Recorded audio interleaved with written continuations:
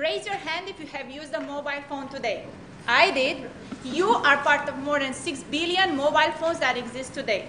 These phones are connected through an infrastructure of more than 6 million base stations. For example, if I want to send a text message to my husband who's right here in the room, the signal from my phone goes to the base station, which is at the edge of the campus on Rice Boulevard, and then returns to the destination, which is his mobile phone.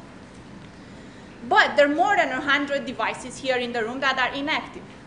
Because the wireless medium is air, your phone can hear my phone signal without having to detect the text message.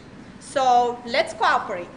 I am developing a wireless cooperative communication protocol called Estimate and Forward in which neighboring nodes help by forwarding the signal to the destination.